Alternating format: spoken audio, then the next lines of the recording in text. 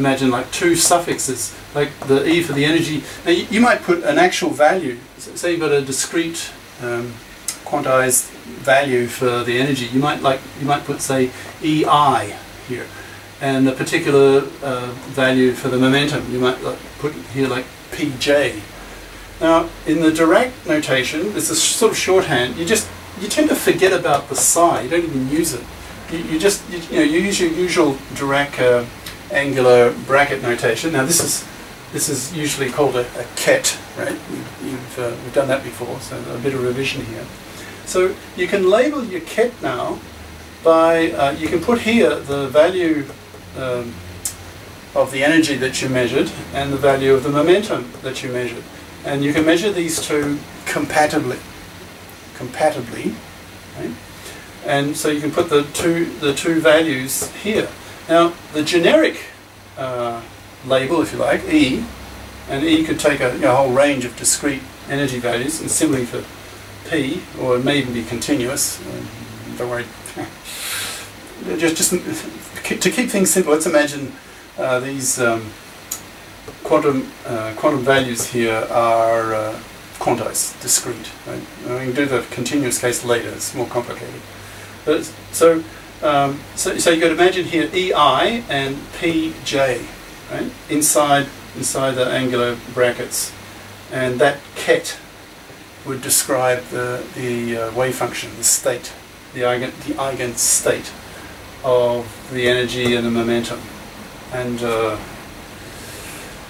you, you, you could, like if you had uh, big N uh, possible energy eigenvalues and big M possible momentum values, then how many uh, different kets could you have? Well, big N times big M, right?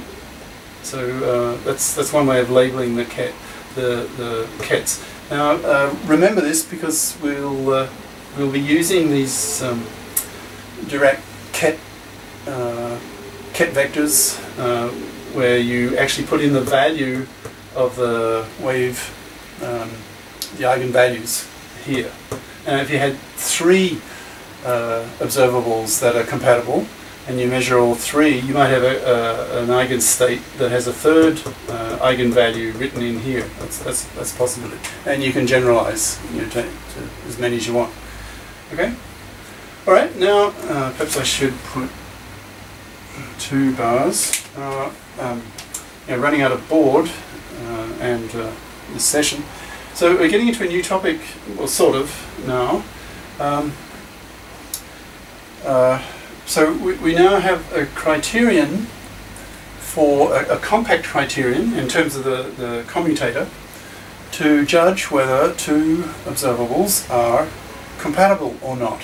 Okay. Now we know the HUP, the Heisenberg uncertainty principle, the HUP, is uh, an instance or an example of uh, incompatibility. Right? So we should, you know, intuition says we, we should be able to form some kind of relationship between the Heisenberg uncertainty principle and the commutator. Does that sound plausible? Uh, okay. So uh, yeah, we know we know using the, the commutator, if the commutator is zero, then we have compatibility between the two observables. And uh, in the case where it's not zero, uh, you know, we could uh, imagine the two observables are momentum and position, uh, let's say along the x-axis, then we get the Heisenberg uncertainty principle. So uh, let's try. Let's now try to find a relationship between the commutator and the Heisenberg uncertainty principle we, should be able to do that.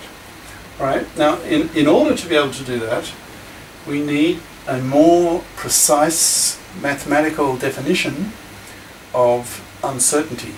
Like uh, you, you now, I think I hinted at the, I think I mentioned this uh, in passing rather quickly, oh, way back, uh, many lectures ago in, in this course, uh, that we probably would later uh, redefine more precisely uh, what we meant by the uncertainty in uh, energy, sorry, position measurement or momentum measurement. Well, now, now the time's come, right?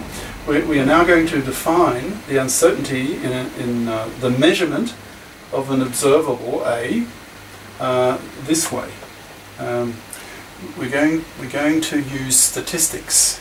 We're going to talk about standard deviations and variance. Now these are two technical terms from the theory of statistics. Now I hope, I hope you've done some statistics. Uh, this, this now this delta here uh, is the standard deviation and uh, the square the square of a standard deviation in statistics is called the variance right? and there's a formula so here you have the square of the standard deviation this uh, delta d or you know, delta a is the standard deviation of the measure, measurement values of the observable A. Right? Now, from statistics, nothing to do with quantum mechanics, but just from statistics, the standard deviation squared is called the variance, and there's a formula for the variance, and that is it's the mean value, the average, or the expectation value, well, that's quantum mechanics. It's the average of the square of your what you're measuring minus the square of the average of what you're measuring. Now, uh, I, I will actually derive it. I'm just giving you a taste now, because you're running out of board. I, I will give you uh, I will actually derive this in statistics in the next uh, session. Uh, in case you haven't done any statistics, um, just just uh, as a bit of a tangent. Uh, I don't know how many times I've been shocked at the level of ignorance, especially especially amongst feminists of all people. They, they just they just don't know any statistics. So when when they complain, see, I'm a masculist, men's libber, and now I'm really getting off on a tangent. You know, just just one or two minutes because it's interesting. Uh, yeah, I hear feminists complaining about the glass ceiling. You know, at, at very high levels, uh, women are underrepresented. And I, I try to tell them as a masculist, men's libber, well, that's perfectly normal. It's a natural consequence of the phenomenon, statistical phenomenon, of GMV, greater male variance. And I tell them, uh, and they, often they stare at me, they don't know what I'm talking about. They don't know, they don't know enough statistics to know what variance even means. You know, they may not even have heard of the term. So I have to explain, I have to give them a two minute uh, statistics lesson. And I'll tell them things like, well, every year in the US, hundreds of thousands of uh, school kids have their IQs measured. And therefore you can easily, very accurately find the average value of the IQs for boys and girls, and uh, same. That's not surprising, the IQ tests are devised so that they're the same. But what is interesting is the variance. Uh, the males have a 10% larger variance than the females.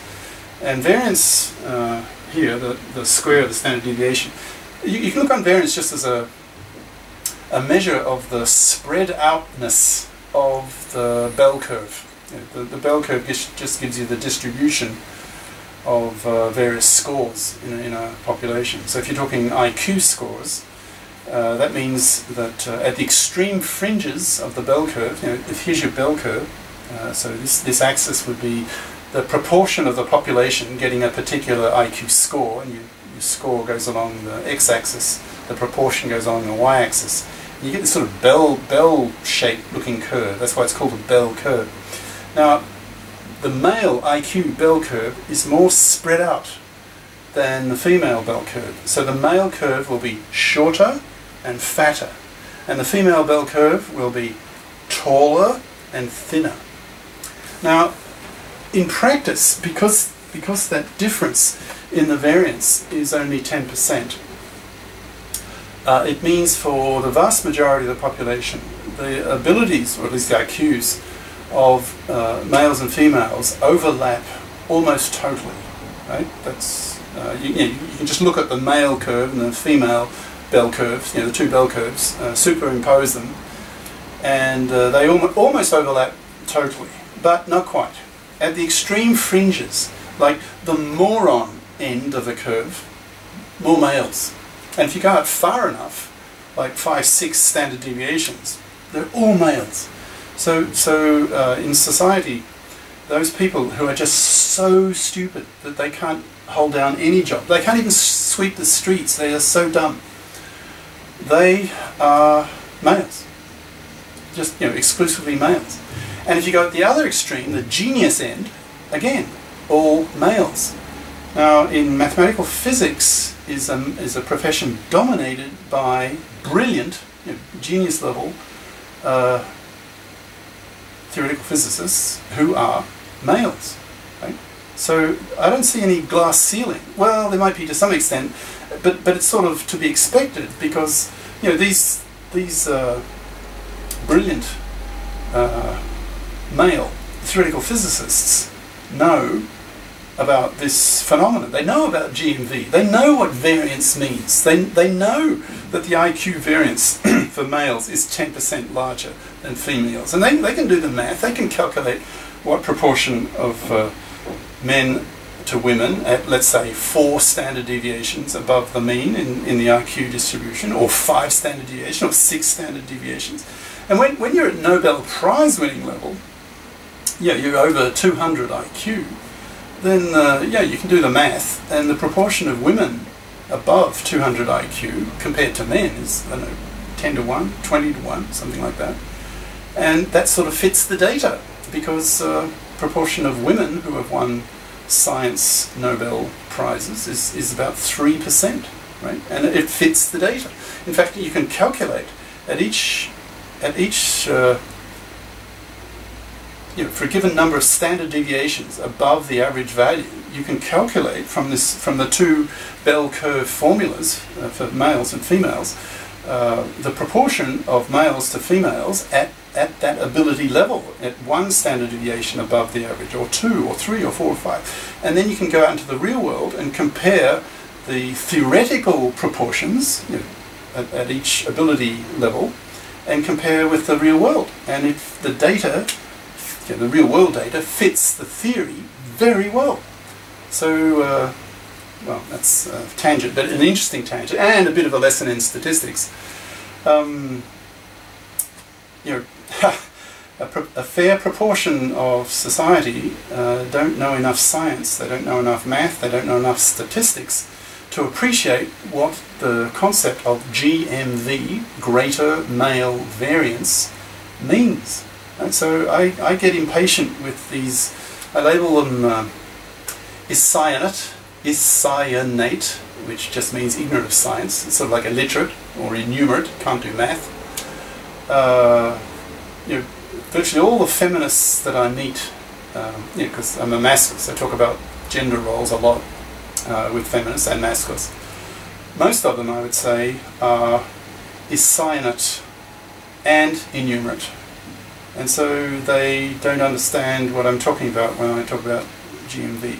So anyway, that's just that's just for fun, thrown in as a, as a tangent, uh, a side issue. But you, you got a bit of statistics out of it. So next session, uh, I will actually derive this formula uh, in statistics that the, the variance is equal to the the mean of the square minus the square of the mean and then I'll use that uh, definition of the standard deviation. I'll define what standard deviation means. I'll, I'll give you a mini uh, condensed uh, little lecturette in the basics of uh, statistics, the, the concept of standard deviation and variance, and then use it in the context of the commutator and the Heisenberg uncertainty principle.